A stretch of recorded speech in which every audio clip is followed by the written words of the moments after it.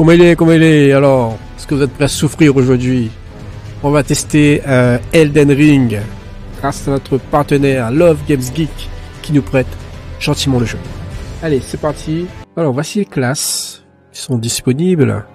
Nous avons donc le vagabond, euh, le guerrier, le héros, le bandit, l'astrologue, le prophète, le samouraï, le prisonnier, le confesseur, l'indigent. Je sais pas pourquoi ils ont, ils, ont très peu de vêtements, je sais pas pourquoi. Donc pour chaque catégorie, soit un homme, soit une femme. Hein. Prendre, Alors, on va prendre, euh, on va prendre le samouraï, tiens.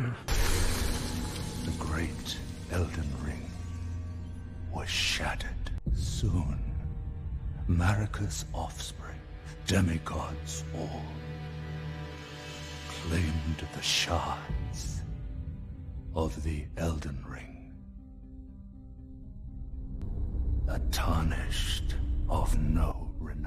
Vous l'avez donc compris, euh, le cercle d'Elden a été détruit. Ces fragments ont été donnés à des demi-dieux, qui sont les descendants de Marika. Et nous, eh ben, on va devoir les, les affronter un par un, récupérer tous les fragments, reconstituer le cercle d'Elden et devenir seigneur de ces terres. Telle sera notre mission. The Elden Lord.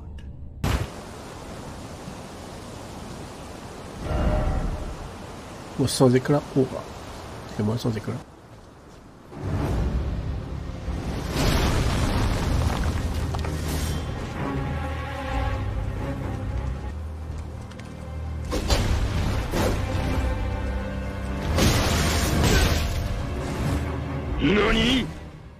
Euh, les fans du genre, vous savez tous déjà que ce jeu est censé être très difficile.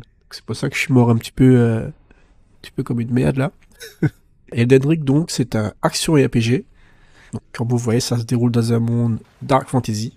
Donc, comme ses prédécesseurs, hein, Dark Souls, Nioh, Bloodborne, Sekiro, Demon Souls, c'est donc un Die and Retry. Donc, vous allez parcourir un monde peuplé de monstres féroces qui très souvent euh, vous tueront en quelques coups.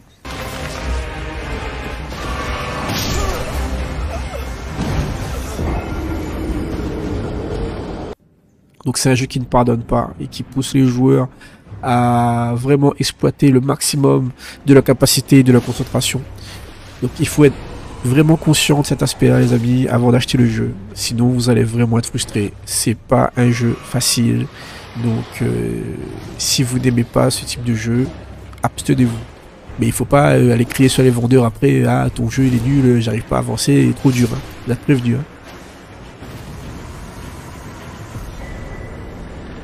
On va voir du coup euh, rapidement les bases du jeu, les actions des personnages. Euh, donc moi je plais samouraï, hein, donc il y a peut-être des choses qui vont différer sur les classes que vous allez prendre. Alors bah, première action, vous pouvez sauter. Donc euh, en appuyant sur X.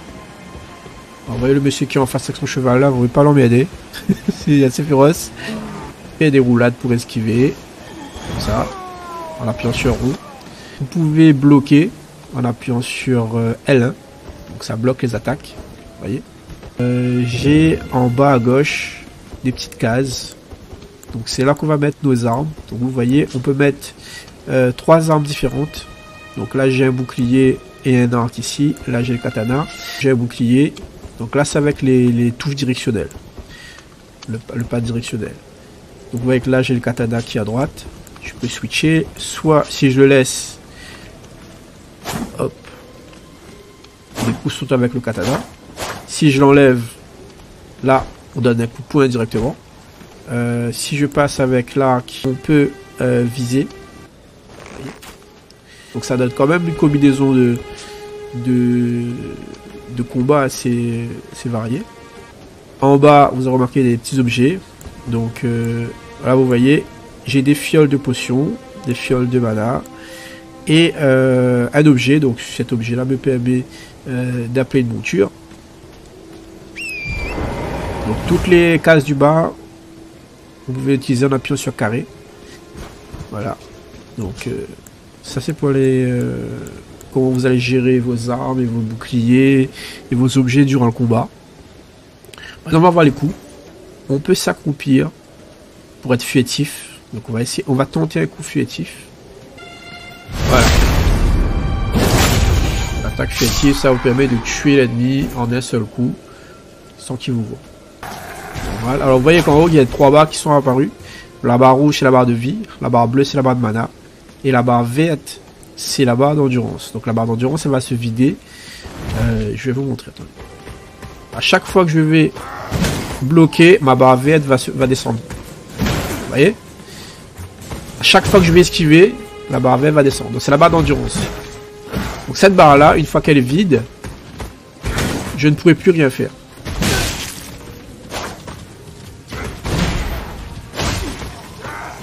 Donc vous avez les coups normaux, donc c'est avec R1.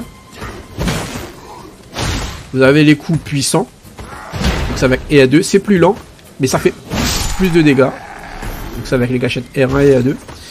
Ensuite, je vais vous montrer un autre coup. Donc c'est euh, un coup pour casser la garde. C'est un coup aérien. Donc il suffit de sauter.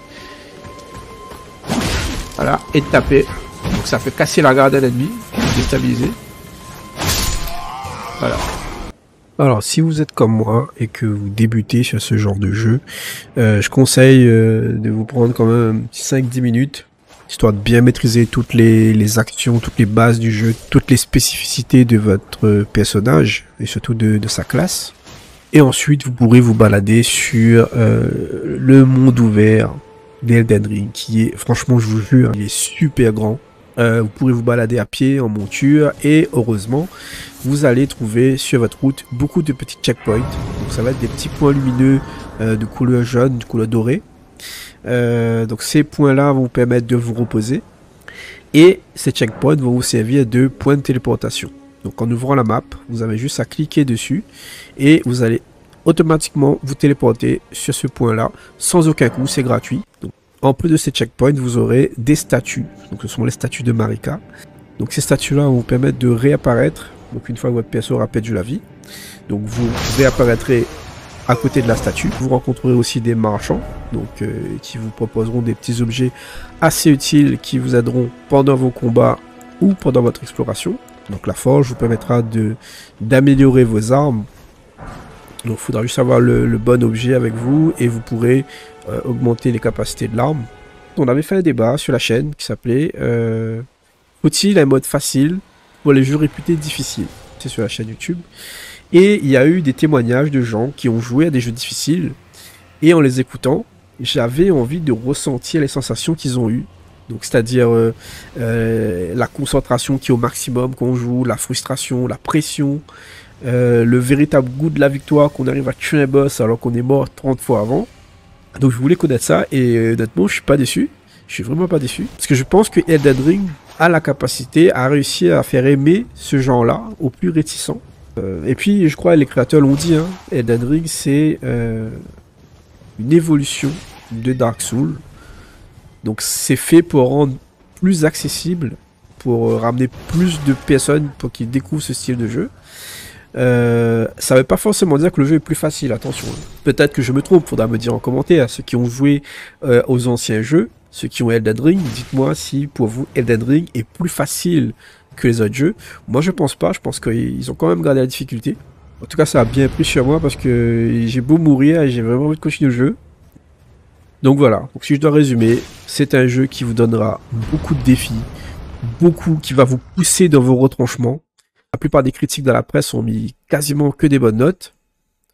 Donc c'est un, très grand succès pour l'instant pour Elden Ring. Moi dans ma partie, j'ai pas remarqué de bugs, j'ai pas remarqué de je suis sur une PS4 Pro. Donc euh, ça reste quand même assez beau le jeu, je trouve, hein, graphiquement. Le seul point peut-être que j'aurais pu dire, c'est que peut-être pour les gens qui, ne connaissent pas ce style de jeu, peut-être au début, mieux informer peut-être les joueurs. Mais après, je dis ça, mais on avait des jeux comme ça à l'époque, hein, à l'époque du rétro gaming, où on nous expliquait rien, on nous lâchait comme ça et c'était à nous de comprendre.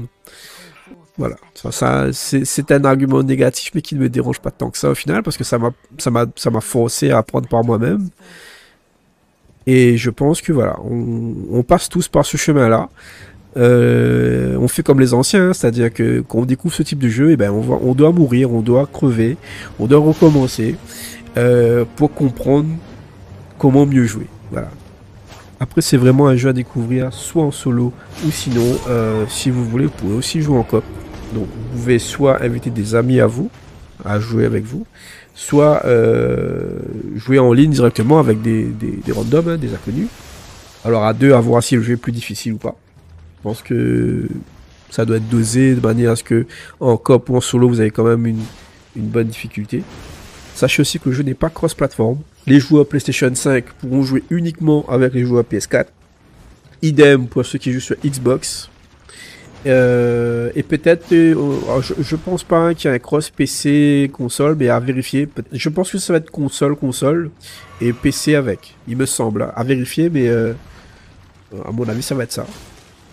Donc voilà, maintenant je vous laisse faire votre avis. Si vous avez le jeu, laissez-moi un avis en commentaire. Dites-moi si ça vous a plu ou pas. Euh, que pensez-vous du jeu? Alors, jeu vous a plu? Vous pouvez le retrouver au magasin Love Games Geek. Soit euh, vous allez récupérer vous-même le jeu, soit ils vous font la livraison directement chez vous. Bon, vous avez envie de jouer? Alors, que attendre Contact Bana, vite. Dépêche, allez, dépêche